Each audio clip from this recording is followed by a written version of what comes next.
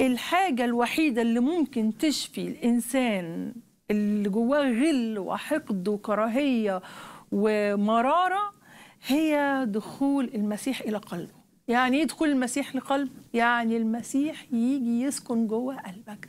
إزاي يسكن جوه قلبك؟ إن أنا أقول له يا رب من فضلك أنا مش قادر أتشفي. أنا موجوع. أنا جوايا غل. أنا مش قادر أتحكم في نفسي. يا رب تعالى تعال غير اللي أنا مش قادر أغيره. أنت تقدر. أنا ما أقدرش. المسيح الوحيد اللي عنده الإمكانية إن هو يغيرك. المسيح الوحيد اللي ادى تعليم يقول أحبوا أعداءكم باركوا لاعنيكم أحسنوا إلى مبغضيكم صلوا للذين يسيئون إليكم ويطردونكم لكي تكونوا أبناء أبيكم الذي في السماوات. ما سمعناهاش في أي فلسفة ولا أي ديانة ولا أي مكان.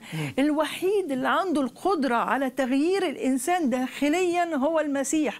والاختبار المسيحي يشهد عن ذلك.